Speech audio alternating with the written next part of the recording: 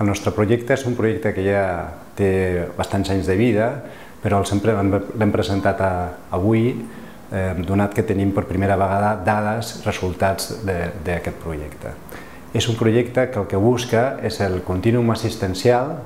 i el que busca és augmentar la resolució dels companys de l'atenció primària i també, d'alguna manera, redefineix el paper de qui ha de ser el, el, el rol de l'endocrinòleg especialista.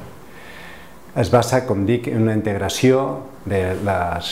de, dels dos àmbits assistencials, el de primària i el de, i l'especialitzada, i, mm, diguéssim, com a, com a filosofia comuna és que funcionem com un únic servei un únic servei en el qual l'important és el pacient i nosaltres, en un únic servei primària i especialitzada, donem el suport assistencial que aquesta persona necessita. Evidentment, això passa per una, una cartera de serveis que està molt consensuada i per tota una sèrie de, de, de metodologia en la qual ens posa en, en, aquest, en aquest àmbit d'assistència.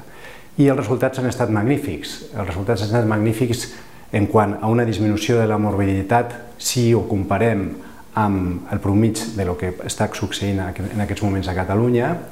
També hem disminuït eh, els costos en el sentit de que tenim menys ingressos, tenim menys eh, eh, visites a urgències, també tenim menys visites programades a nivell de l'atenció especialitzada, augmenta una miqueta més la, les visites a la, a la assistència primària, com havia de ser, perquè si disminuïm un ha d'augmentar l'altre, però augmenta en una proporció molt inferior a la disminució nostra. De fet, hem disminuït en un 80% en un 80% les visites, diguéssim, eh, no adequades.